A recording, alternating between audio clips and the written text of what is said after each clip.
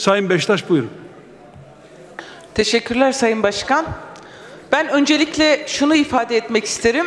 Bu tutanaklardan çıkarılması meselesi komisyon sözcüsü tarafından ifade edildi.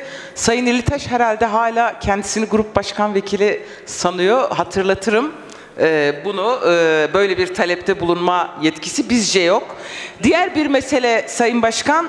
Şimdi bize yönelik sözlerine dair hatibimize söz istiyorum ama ben grup başkan vekili olarak şunu söylemek isterim.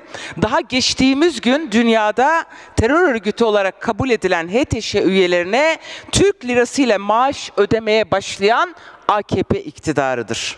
Cihat Cı Heyet Tahrir El Şam öncülüğündeki Suriye geçici hükümeti Türk para birimine geçmeye karar verdi. Suriye lirası en düşük değerde seyrederken İdlib'deki bankalarda yüksek meblağda eee, Türk lirası olduğunu gayet iyi biliyoruz. Bir de şunu söyleyeyim.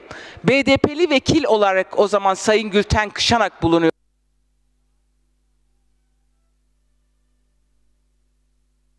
Buyurun toparlayın.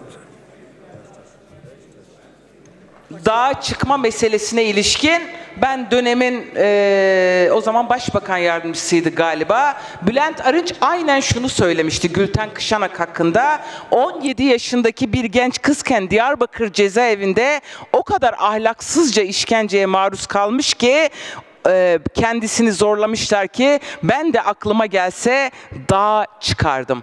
Daha düne kadar cemaatin dizinin dibinden ayrılmayanlar bizi terör ve terörizmle ilişkilendirmekten vazgeçsinler. Ayrıca başkanlık olarak tutumunuz hakkında da bütün meclisçe açıkça duyulan sözlerle ilgili tutanak istemenizle ilgili usul tartışması açılmasını istiyorum.